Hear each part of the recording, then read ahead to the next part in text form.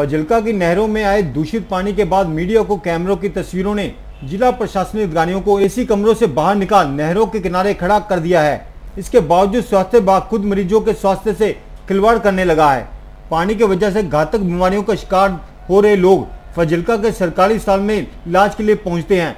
तो वहीं अस्पताल प्रशासन खुद ही ऐसे मरीजों को हैवी मेटल पानी पीने को दे रहा है, जबकि अस्पताल के डॉक्टरों के लिए शुद्ध पानी बाहर से प्राइवेट कंपनियों से खरीदा जा रहा है दरअसल आज जब फजिल्का के सरकारी अस्पताल का दौरा कर पानी को जांचा मरीजों द्वारा गंदगी के आलम में पड़े वाटर कूलों से पिए जा रहे पानी में टीडीएस की मात्रा 1000 के करीब पाई गई जो कि स्वास्थ्य के लिए हानिकारक है वहीं उधर जब डॉक्टरों द्वारा पीने वाले पानी को जांचा गया तो उसमें टीडीएस की मात्रा महज नब्बे थी जो कि स्वास्थ्य के लिए बिल्कुल अनुकूल है ਹਾਂਜੀ ਇੱਥੇ ਪਾਣੀ ਜਿਹੜਾ ਬਿਮਾਰ ਹੋਏ ਲੋਕ ਆਉਂਦੇ ਆ ਪਾਣੀ ਦੀ ਵਜ੍ਹਾ ਨਾਲ ਆਉਂਦੇ ਇੱਥੇ ਪਾਣੀ ਮਾੜਾ ਮਿਲੂਗਾ ਤੇ ਉਹਨਾਂ ਦਾ ਕੀ ਬਣੂਗਾ? ਉਹ ਵੀ ਬਿਮਾਰੀ ਰਹਿਣਗੇ।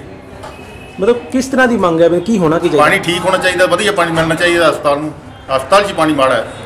ਤੇ ਕੀ ਕੀ ਚਾਹੀਦਾ ਵੀ ਕਿਸ ਤਰ੍ਹਾਂ ਦਾ ਪਾਣੀ ਇੱਥੋਂ ਵੀ ਪ੍ਰਸ਼ਾਸਨ ਨੂੰ ਕਿੰਨਾ ਕੁ ਸਤਰਕ ਹੋਣਾ ਚਾਹੀਦਾ? ਇਹਦੇ ਵਾਸਤੇ ਬਹੁਤ ਵਧੀਆ ਪਾਣੀ ਆਉਣਾ ਚਾਹੀਦਾ ਇੱਥੇ। ਜਿਸ ਤਰ੍ਹਾਂ ਦਾ ਡਾਕਟਰ ਆਪ ਪੀਂਦੇ ਉਹ ਜਿਹਾ ਪਾਣੀ ਮਰੀਜ਼ਾਂ ਵਾਸਤੇ ਵੀ ਹੋਣਾ ਚਾਹੀਦਾ। ਇਹ ਪ੍ਰਸ਼ਾਸਨ ਨੂੰ ਚਾਹੀਦਾ ਜੀ ਪਾਣੀ ਸਾਫ਼ ਤੇ ਸੁਥਰਾ ਦੇਣ। ਮਰੀਜ਼ਾਂ ਵਾਸਤੇ ਖਰਾਬ ਪਾਣੀ ਮਿਲ ਰਿਹਾ ਜੀ। ਕਿੰਨਾ ਕੁ ਪਾਣੀ ਖਰਾਬ ਹੈ? ਇਹ 1000 ਟੀਡੀਸੀ ਹੋਇਆ ਪਿਆ ਜੀ ਇੱਥੇ। ਲੱਗਦਾ ਜੀ ਮਰੀਜ਼ਾਂ ਵਾਸਤੇ ਸਾਫ਼ ਚਾਹੀਦਾ ਜੀ ਜਿਵੇਂ ਡਾਕਟਰਾਂ ਨੂੰ 80% ਚਾਹੀਦਾ ਜੀ ਤੇ ਮਰੀਜ਼ਾਂ ਨੂੰ ਚਾਹੀਦਾ ਜੀ। ਅਸੀਂ ਸਾਫ਼ ਸੁਥਰੇ ਪਾਣੀ ਦੀ ਮੰਗ ਕਰਦੇ ਹਾਂ ਜੀ। ਅੱਛਾ ਤੁਸੀਂ ਜਿਹੜਾ ਡਾਕਟਰਾਂ ਨੂੰ ਪਾਣੀ ਪਿਆਉਂਦੇ ਹੋ ਇਹ ਕਿੱਥੋਂ ਲੈ ਕੇ ਆਉਂਦੇ ਹੋ? ਇਹਦੇ ਆਰਓ ਸਪਲਾਈ ਵਾਲਿਆਂ ਤੋਂ। ਕਿਹੜੀ ਆਰਓ ਸਪਲਾਈ ਤੋਂ? Simply water smile water purifier ਹੈ ਕੋਈ ਰੇਕਰ ਚੌਂਕ ਮੈਂ ਤਾਂ ਆਪ ਬਠਿੰਡੇ ਤੋਂ ਆਉਣਾ ਅੱਛਾ। ਨਹੀਂ ਤੁਸੀਂ ਜਿਹੜਾ ਮੇਰੇ ਫਰੈਂਡ ਨੇ ਬਣਵਾਇਆ ਕਾਰਡ ਇੱਥੇ ਲੋਕਲ ਕੰਮ ਕਰਦੇ ਨਾ ਉਹਨਾਂ ਦੇ ਘਰ ਦੇ ਕੋਲ ਹੀ ਹੈ ਅੱਛਾ। ਤੁਸੀਂ ਉੱਥੋਂ ਪਾਣੀ ਲੈ ਕੇ ਆਉਂਦੇ ਹੋ? ਕਦੀ ਕਦੀ ਕੋਈ ਲੈ ਆਂਦਾ ਕਦੀ ਮੈਂ ਜਾਂਦਾ।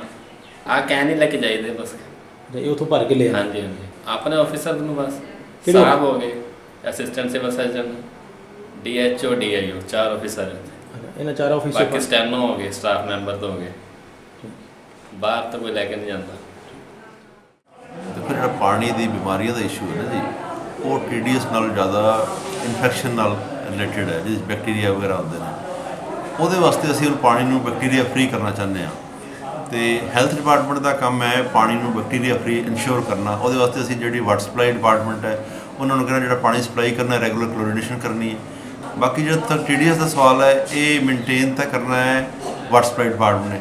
ਪਰ ਰਫਲੀ ਅੰਦਾਜ਼ਾ 200 ਦੇ ਆਸ-ਪਾਸ ਨਾਰਮਲ ਮੰਨਿਆ ਜਾਂਦਾ ਵੀ ਠੀਕ ਸਿਹਤ ਵਾਸਤੇ ਹੈ ਇਹ ਇਸ ਤਰ੍ਹਾਂ ਹੈ ਦੇਖੋ ਇਹ ਅਸੀਂ ਅਹ, ਸਾਰੇ ਹਸਪੀਟਲ 'ਚ ਚਾਰ ਪੰਜ ਥਾਂ ਤੇ ਆਰਓ ਲਗਾਏ ਹੋਏ ਨੇ ਕਈ ਵਾਰੀ ਕੀ ਹੁੰਦਾ ਵੀ ਲੱਗੇ ਨੂੰ ਫਿਲਟਰ ਚੇਂਜ ਕੀਤੇ ਨੂੰ 2 ਮਹੀਨੇ ਹੋ ਗਏ ਡੇਢ ਮਹੀਨਾ ਹੋ ਗਿਆ ਤੇ ਕਿਸੇ ਟਾਈਮ ਥੋੜਾ ਬਹੁਤ ਲੇਟ ਹੋ ਜਾਂਦਾ ਵੱਖਰੀ ਗੱਲ ਹੈ ਅਦਰਵਾਈਜ਼ ਅਸੀਂ ਰੈਗੂਲਰਲੀ ਫਿਲਟਰ ਚੇਂਜ ਕਰਦੇ ਰਹਿੰਦੇ ਹਾਂ ਇਨਸ਼ੋਰ ਕਰਦੇ ਹਾਂ ਵੀ ਜਿੰਨਾ ਟੀਡੀਐਸ ਚਾਹੀਦਾ ਉਨਾ ਹੋਵੇ ਜੇ ਕੋਈ ਹੈ ਹੁਣ ਅਸੀਂ ਚੈੱਕ ਕਰਵਾ ਲੈਂਦੇ ਦੁਬਾਰਾ ਠੀਕ ਕਰਵਾ ਲੈਂਦੇ जागती लहर के लिए फजिल्का से अरविंदर तनेजा की रिपोर्ट